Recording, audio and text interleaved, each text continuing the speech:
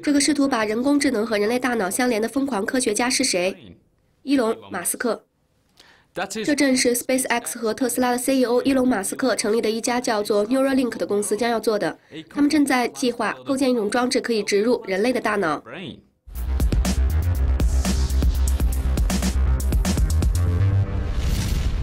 有关 Neuralink 的信息，人们知之甚少，因为它正处在早期的发展阶段。但是我想告诉你们的是，该公司将会使用一种叫做神经蕾丝的技术，将微型电极植入大脑中。该装置承诺将会改善记忆力，给人类增加人工智能的部分。这会让你想起《攻壳机动队》，对吗？伊隆·马斯克就有关 Neuralink 已经给出暗示一段时间了。现在他在迪拜说道：“随着时间的推移，我想我们将会看到生物智能和数字智能更加紧密的合并。”他补充说道：“这种合并主要是出于对带宽的考虑，就是你的大脑和数字设备之间的连接速度，尤其是输出速度。”他甚至还饶有兴致地在推特上回复粉丝们的各种奇怪的问题。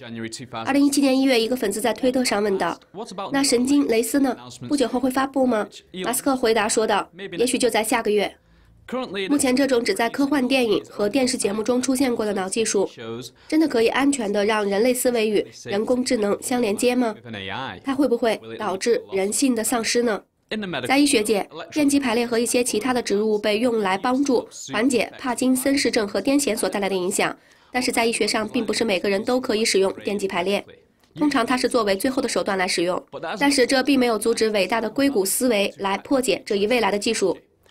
好吧，伊隆·马斯克，你可以放一台电脑在我的脑袋里面，因为我感觉脑袋并不太灵光。我是基亚·哈里勒，感谢您的收看。